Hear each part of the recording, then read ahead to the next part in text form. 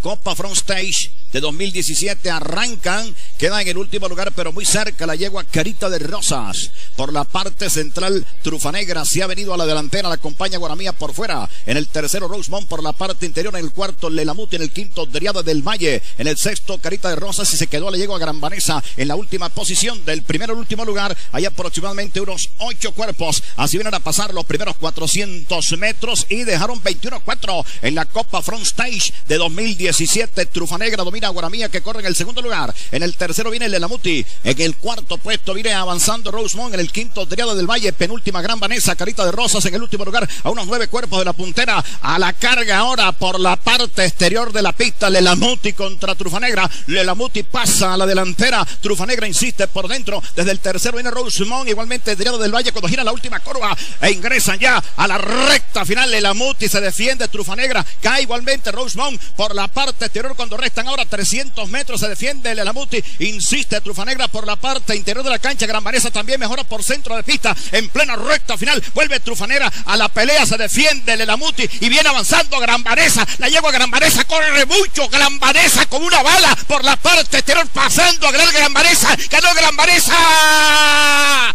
En el segundo llega el ejemplar Rosemont. En el tercero Lelamuti. En el cuarto Trufanegra.